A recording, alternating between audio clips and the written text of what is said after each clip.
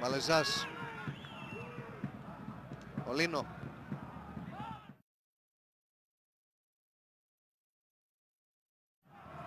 Εγκαμπή. Μαρτσέλο. Αρσενίεβιτς. Μαγιάρδο. Ξανά Αρσενίεβιτς. Νέτο. Με δεύτερη προσπάθεια περνά στον Κάλβο. Πρώτη ενέργεια από τον Τόνι Κάλβο, γλίστρισε, επιμένει όμως.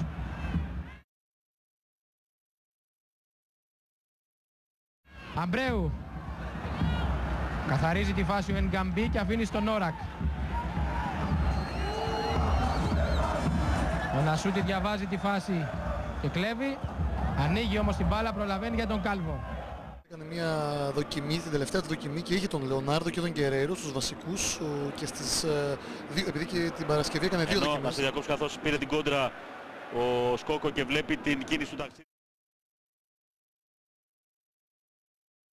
που έχει έρθει αυτός αριστερά τώρα και έχει την ευκαιρία στο τρίτο λεπτό να απειλήσει την αιστεία του Πανθρακικού και ε, τελικά να οδηγηθεί σε ένα σουτ ε, όχι ιδιαίτερα καλό από το Γιάχιτς στο τρίτο λεπτό η μπάλα από το πόδι του Βόσνιου πέρασε out αλλά είδαμε αυτή τη φορά τον ε, Σκόκο.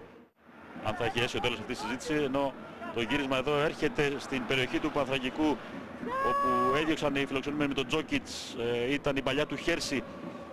Ανοιχτό μάτς στα πρώτα λεπτά.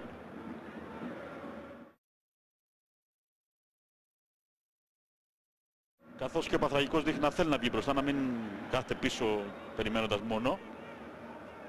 Με τον ε, Μπουβάλ να παίζει λίγο πιο μπροστά από τον Καζάκη.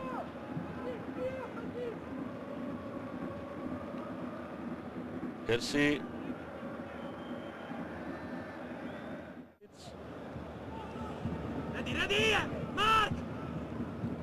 Βλέπετε εδώ την ε, προσπάθεια να πάει στο πρώτο δεκάρι η μπάλα, νέο κόρνερ.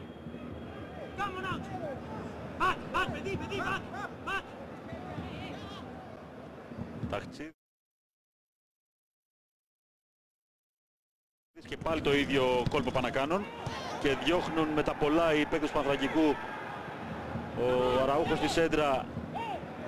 Σε μια φάση όπου υπήρξε μια πρόσκρουση σε σώμα του ε, σε παίκτη του Πανθρακικού. Να δούμε στην πρώτη ευκαιρία ένα replay. Υπήρξε και μια διαμαρτυρία του Μαϊστρού Πισάκο και δεν προλαβαίνει, βγαίνει με τα πόδια ο Ρόκα.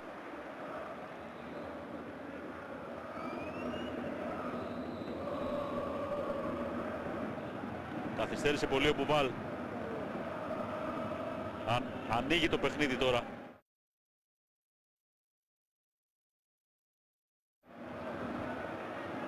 Λεωνάρντο δεν πέρασε η παλιά του.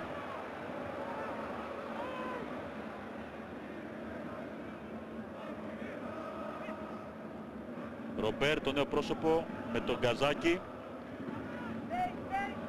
Φαγιάρδο πιο ουσιαστικός στο κέντρο σήμερα για τον Πανθραγικό, ο Πορτογάλος.